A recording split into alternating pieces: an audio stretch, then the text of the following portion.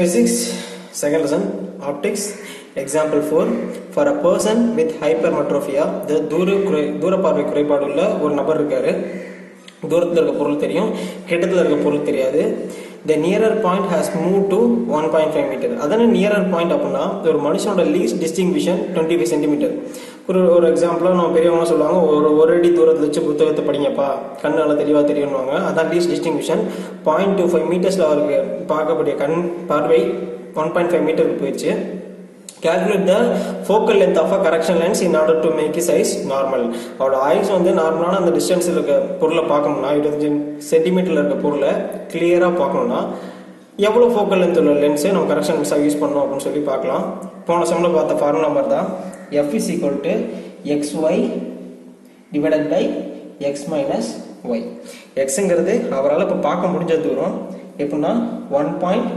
five metre எவ்வளோ பார்க்க விருப்பப்படுறாருன்னா பாயிண்ட் டூ ஃபைவ் மீட்டர் அதாவது twenty five centimetre divided by X minus Y one point five minus point two five one point five into point two five is equal to zero point three seven five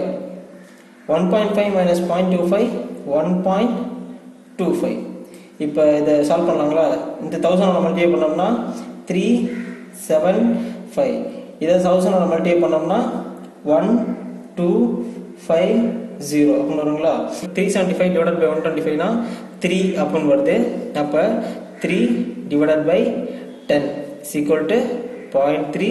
metre அப்படிங்கிறது தான் இதோட focal length அப்போ அவருக்கு இப்போ எவ்வளோ focal length correction lens use பண்ணோம்னா